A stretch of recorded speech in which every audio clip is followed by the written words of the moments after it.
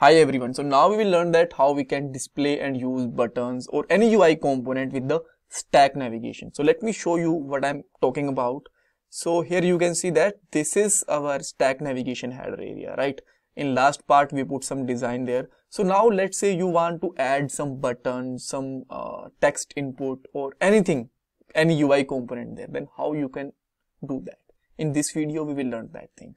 Uh, let me give you one more uh, clear example. So in this uh, picture here you can see that there is a list option inside the header and there is some more options for uh, uh, you can see that uh, menus and switch box and brightness options are, are there right?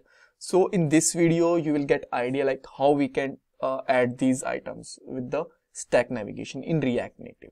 So now we can jump on the code. So this is our screen to check the output and let me just hide this sidebar so that we have more area. So now let's say we want to add a button uh, inside the login screen.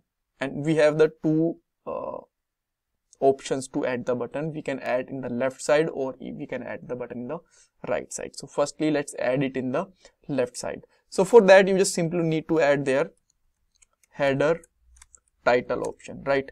And there you can put any component and just keep in mind this is basically a uh, arrow function. Th this is the uh, this header type title is a type of function right? So you can put any function. It could be arrow function or normal function but it should return some values right? So i'm putting there a arrow function and just put there a button like this. Like this. And let me put there some title also. Title so you can say that uh, left or something whatever you want to put there. And keep in mind that it should be imported from the react native. And now you can see that we got the button inside the left side. Perfect. All right and uh, one more thing after you will just put some content uh, in the header title the title not visible uh, there right? So even you can add some text also if you want. Let me just show you how you can add the text.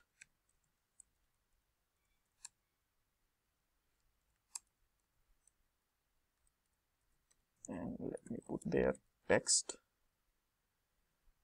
uh, with this. And uh, some text let's say left right or whatever you want to put. And here we go that text right? And even you can add some custom style also. You can put some custom style also there. All right so uh, now let's see that how we can use some event over there with that button right? So i'm just uh, undoing it with the button and let's say there is a function inside the app component and let's say this function name is uh, header action or something right? And there we are just printing some warning. Let's say button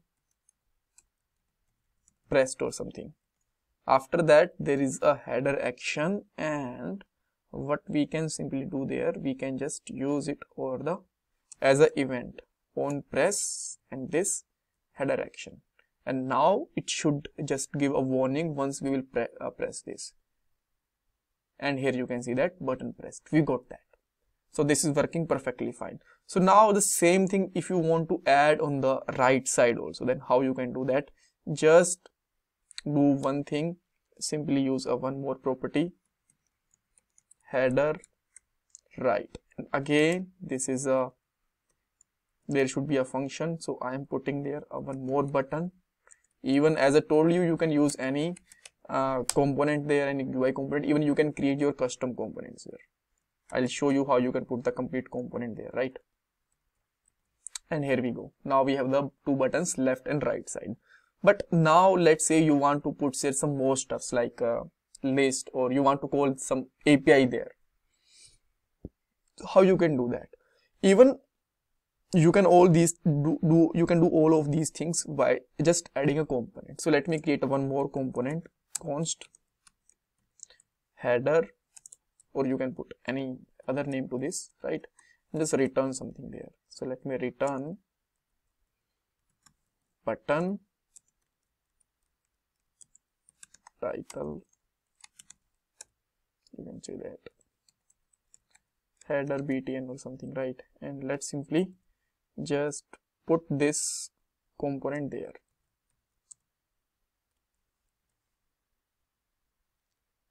Header button right? And now if you want to again just perform some action then then you can do that. Even you can use some input text also now input uh, let me just import there.